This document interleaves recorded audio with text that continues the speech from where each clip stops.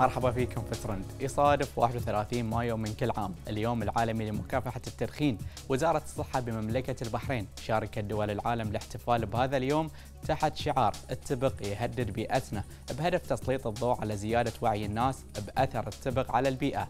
ونشرت الوزارة عبر حساباتها الرسمية منشورات لمجموعة نصائح وقامت بتنظيم عدد من الفعاليات والأنشطة الهادفة عشان توعي الناس بمخاطر التدخين على صحة الرئة ومساعدة المدخنين على الإقلاع عنه وتأمن حياة صحية خالية من الأمراض لجميع أفراد المجتمع.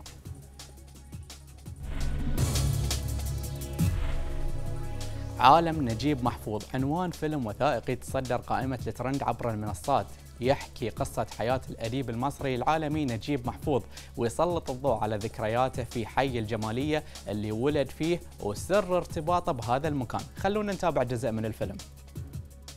إن هذا الحي هو الحي اللي ولدت فيه اكتشفت الحياة فيه لعبت فيه قضيت فترة تعتبر عزيزة على كل إنسان هي فترة الطفولة فيه.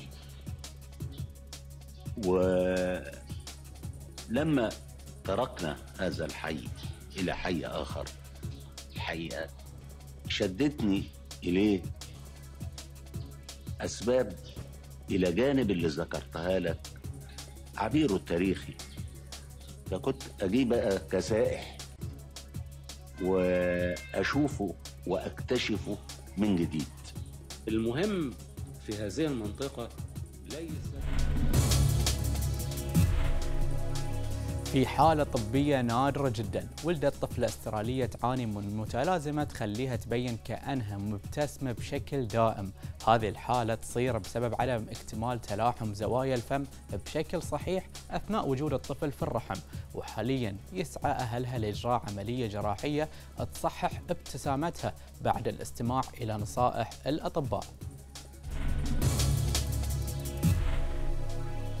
طباخ فرنسي متخصص في صناعة الحلويات. أبهر الناس بفنه وإبداعه وصنع زرافة من الشوكولاتة. تجاوز ارتفاعها مترين الطباخ قام بنشر مراحل صناعة المجسم الضخم للزرافة على حسابه عبر الإنستغرام وحصد أكثر من 80 مليون مشاهدة في وقت قصير جدا. خلونا نتابع.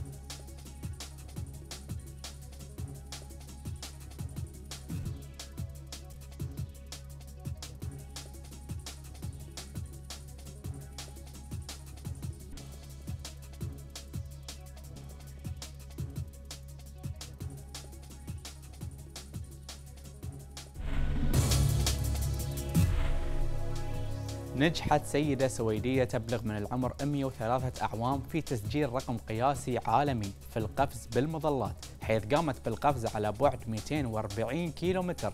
بعد تحقيقها هذا الإنجاز رواد منصات التواصل الاجتماعي تداولوا مقطع فيديو لها على نطاق واسع والكل أشاد بعزيمتها ونجاحها. خلونا نتابع.